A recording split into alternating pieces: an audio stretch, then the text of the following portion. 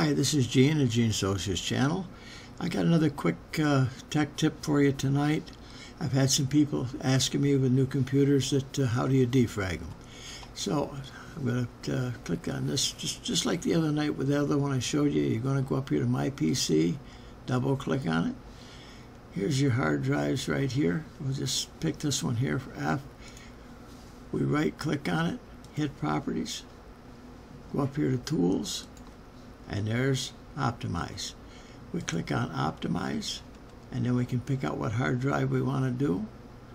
We'll just say we want to do F and you'd, you'd click it on F and you can even analyze it to see how bad it is or you can just hit optimize. I usually just hit optimize and let it go at that.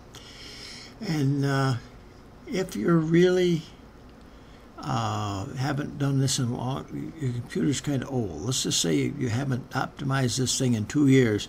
You might want to just click on that before you go to bed and just let it run. Just, just let it run till it finishes. That's all. Well, thank you very much. And uh, all you got to do is close everything out and after you're done. And uh, wish to thank you for all for watching. And uh, please subscribe and hit if you like. Thank you much.